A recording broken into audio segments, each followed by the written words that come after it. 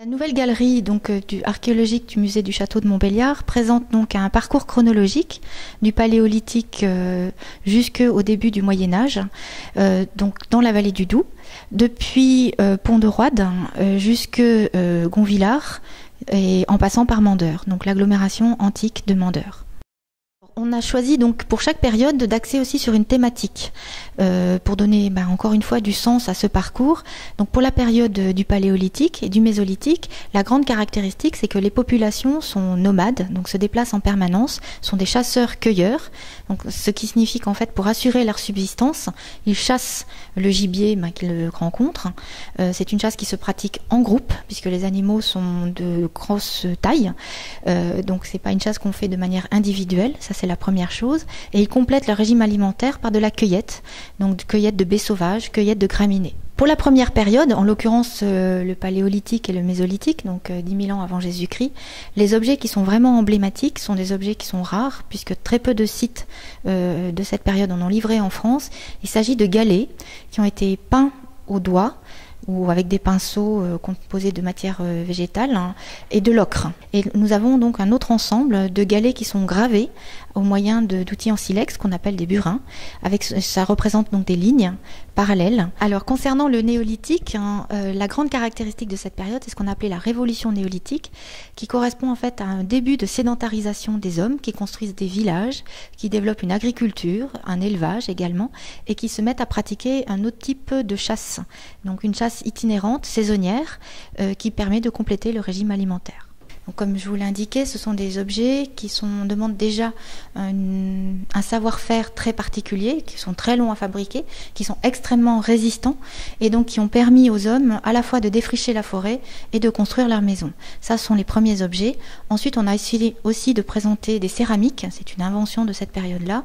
Donc pour la première fois, les hommes ont pu à la fois conserver les aliments et surtout les cuire, donc préparer, modifier leur régime alimentaire. La troisième période présentée au musée de Montbéliard, c'est donc l'âge du bronze. Donc on se situe, l'âge du bronze final plus particulièrement, on se situe aux alentours de 1000 avant Jésus-Christ. C'est alors l'âge du bronze est caractérisé par une invention qui est en fait la métallurgie du bronze, c'est l'apparition des premiers métaux. Nous avons la chance d'avoir un ensemble exceptionnel que le public et la presse appellent le trésor de Maté.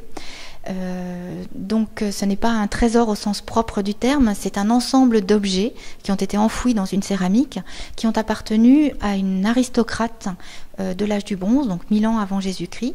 C'est donc il y a environ 280 objets, ceintures, euh, ceinture, collier, bracelet. Et il y a un objet euh, en particulier qui retient toute notre attention, enfin deux objets qui sont identiques. Ce sont des pendeloques en forme de peigne. Et en fait, ces pendeloques ont une signification religieuse qui indiquerait que donc cette femme était une prêtresse euh, qui rendait un culte à la déesse du soleil. Pour la période suivante, nous arrivons donc à l'âge du fer. Donc l'âge du fer, eh bien c'est ce qu'on appelle plus communément la période gauloise avec un apport de population venue de l'Est qui s'installe un petit peu partout sur le territoire euh, bah, qu'on appelle aujourd'hui la France, hein, donc qui sera la Gaule. Euh, et donc pour notre région à nous, le peuple qui s'installe, c'est le peuple des Séquanes, d'où le nom de Séquanie.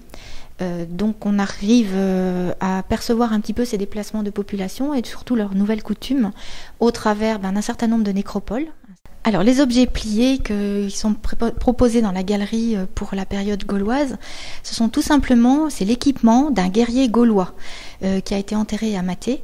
Donc euh, la fouille de cette nécropole, c'est une petite nécropole familiale hein, qui a été créée autour ben, d'un personnage un peu plus important, indique que nous avions une exploitation agricole, donc une ferme à Maté, exploitation familiale avec la nécropole associée. Les armes, euh, la, coutume voulait que à cette période-là, euh, le défunt soit donc euh, incinéré, les cendres mises dans une urne, et le tout enfoui avec les armes et objets personnels du défunt, rendu inutilisable, d'une part pour que les vivants ne les reprennent pas, puisque c'est un don hein, aux divinités et puis aux défunts, et il y avait également des offrandes alimentaires L'Antiquité est la période la plus représentée et souvent la plus connue.